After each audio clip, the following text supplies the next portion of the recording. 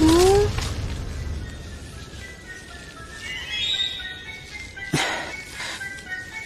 这个是什么情况？啊？不知道。是不是你那个魂环变异了？嗯。魂环是不会变异的。只有武魂才会变异。我吸收人面魔蛛的魂环已经获得一个技能。一切都很正常只是背后这八条蜘蛛腿却无法解释。那你能控制背上的蜘蛛腿，将它们收起来吗？总不能一直这样吧，会被人当成怪物的。我们本来就是怪物。是，你小子，我试试吧。